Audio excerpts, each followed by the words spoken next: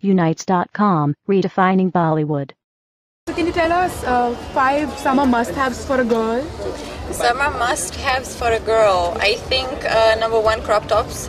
Then number two, um, a lot of uh, flip-flops and and um, flats, I guess, skirts and um, flowy things because it's really hot.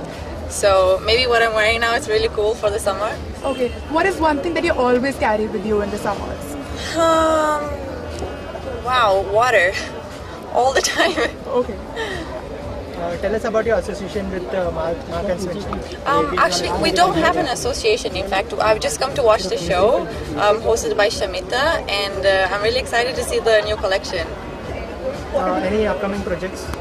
Um, yeah, I'm shooting for a film uh, with uh, Prem Chopra, Ashutosh Rana um, called Udanchhoo, which already we, we already started shooting, so should be releasing in the end of the year. Gautam Gulati is not in the मतलब अभी उन्होंने छोड़ दिया है Yeah. तो what's your reaction on that? Um, I mean, it didn't affect me at all.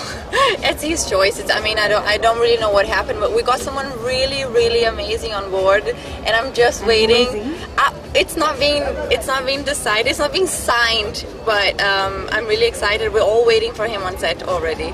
okay, thank you. Thank you, guys. Thank Thank, you you. so Thank you for watching. Click on the subscribe button and stay tuned.